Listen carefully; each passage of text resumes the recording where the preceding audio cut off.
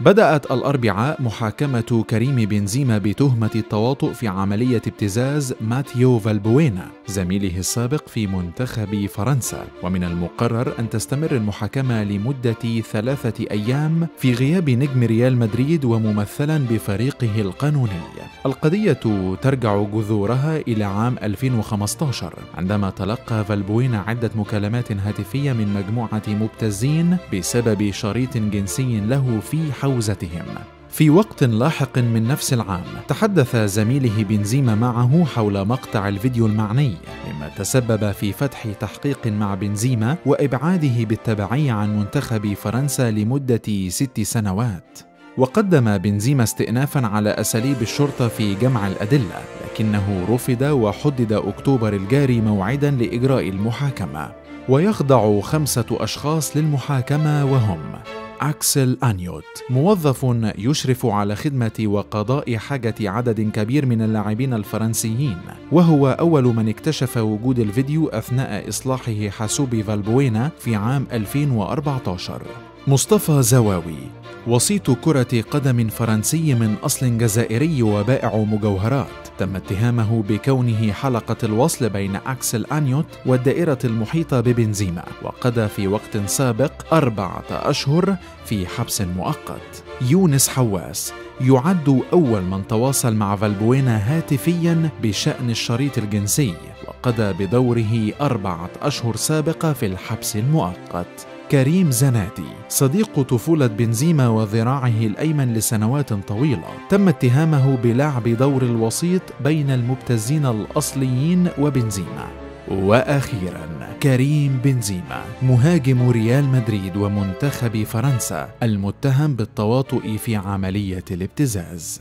الهداف التاريخي الرابع لريال مدريد يواجه خطر السجن خمس سنوات ودفع غرامة تبلغ تسعين ألف يورو لو ثبتت إدانته في القضية.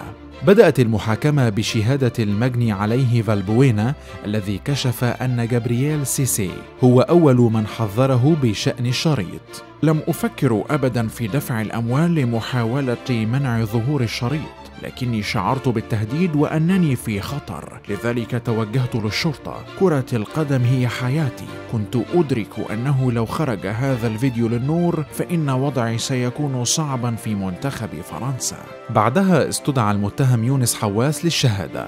تحدثت مع فالبوينا ولكن ليس بشأن تلقي الأموال لمنع ظهور الشريط. ثم جاء الدور على أكسل أنيوت الذي أوضح أنه الشخص الذي عثر على الشريط وأنه رآه فرصة ليتمكن من تسديد 25 ألف يورو كان مديونا بها.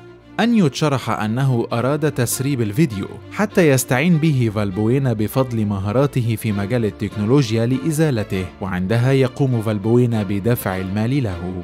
خلال استراحة الغداء تحدث فالبوينا للصحافة. القضية دائرة منذ ست سنوات تقريبا وألاحظ أن الجميع متواجد باستثناء بنزيما. هذا أمر مؤسف. مع استئناف المحاكمة جاء الدور على مصطفى زواوي للدفاع عن نفسه. أنكر ابتزاز فالبوينا أو تلقي أموال منه. لقد تواصلت مع فالبوينا لمنع خروج الشريط إلى النور. أسديناه معروفا ودمرنا الشريط. وهو شكرنا لكننا لم نرغب أبدا في ابتزازه. كما وجه اتهامات لجابرييل سيسي وأنتوني فيدون أحد الوسطاء وليونس حواس. وهنا يجدر التنويه أن سيسي قد برئ من تهمة الابتزاز في وقت سابق خصوصا أن فالبوينا يعتبره صديقا له وأنه حاول فقط تحذيره من وجود الشريط. ليرد فالبوينا على زواوي أسمعه يقول أنه أراد مساعدتي هو أمر جنوني. فيما استمر زواوي في إطلاق تعليقاته الكوميدية بغرض إضحاك الجالسين وتطرق لحجم فالبوينا وطريقة كلامه لكن الأمر لم يكن كوميديا في نظر رئيس المحكمة وفقا لصحيفة ليكيب. ثم خرج فالبوينا ليعطي شهادته بشأن ما حدث يوم السادس من أكتوبر عام 2015 في كليرفونتين مقر تدريبات منتخب فرنسا. بنزيما ألح علي لأقابل صديق له. لكنه لم يكشف عن اسمه. الفرق بين سيسي وبنزيما أن سيسي نبهني فقط لوجود الفيديو. لم يتطرق لحلول مثل بنزيما الذي نصحني بالتحدث إلى صديق له. شعرت أن بنزيما جزءا مما يحدث وأنه أراد إرهابي. كنا زميلين. علاقتي به كانت طبيعية في المنتخب لكن بعيدا عن ذلك لم نتقابل أبدا. بنزيما لم يتحدث معي ابدا بشأن المال. لقد قلت ذلك دائما لكنه كان مصرا. لم يرغب في مساعدتي بل قال لي إن الأمر خطير وأن منافسات اليورو تقترب. لم أكن لأقدم دعوة في الشرطة لو عرفت أن بنزيما جزءا مما يحدث أبدا من أجلي ومن أجل منتخب فرنسا. هذا يؤلمني. لولا كل ذلك لكنت قد شاركت في يورو عام 2016 ثم ظهر كريم زناتي صديق بنزيما وأعطى إفادته. كريم بمثابة شقيقي.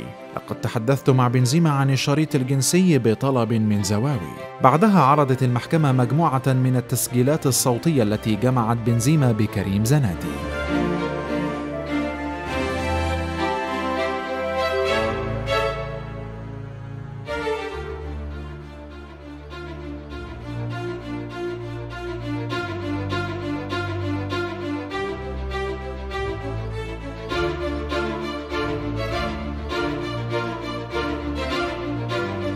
ليعلق زناتي. لو انتبني شك ضئيل أن الأمر فيه شبهة ابتزاز لما ورطت بنزيما في ذلك. لكنه تلقى ردا قويا من المدعي العام. يبدو ذلك قولا ساذجا جدا بالنسبة لشخص تورط في أمور عديدة. ورد زناتي جاء غاضبا. وما علاقة ذلك؟ أين الرابط بين الأمرين؟ لقد تمت إدانتي بالسرقة المسلحة وتجارة المخدرات. مكالمتي مع بنزيما كانت مجرد عبث بين الأصدقاء. بالاستماع إليها الآن أقول إنها كانت سخيفة، لكننا لم نتجاوز فيها الخطوط الحمراء.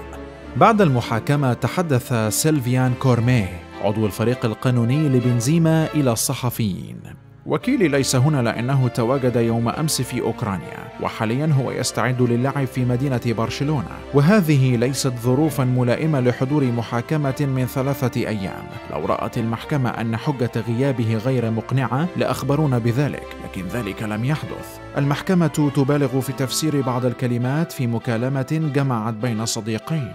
رأينا كيف كرر المدعي العام نفس العبارات وكأنه إنسان آلي.